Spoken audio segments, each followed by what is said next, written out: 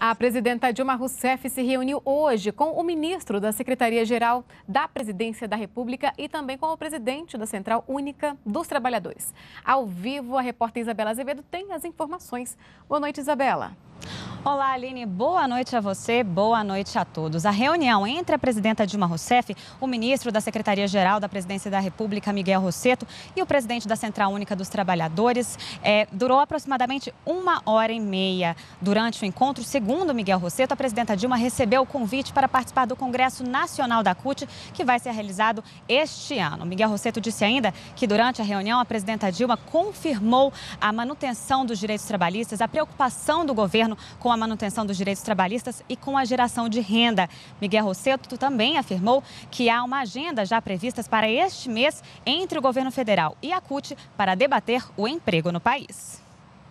No dia 25 agora de fevereiro, nós retomamos as negociações com as centrais e vamos concentrar a agenda no dia 25, eh, no diálogo com as centrais, em cima dos temas referentes ao mercado de trabalho como enfrentar a informalidade, como enfrentar, é, entender a rotatividade do mercado de trabalho, como avançarmos no sistema público de emprego do nosso país.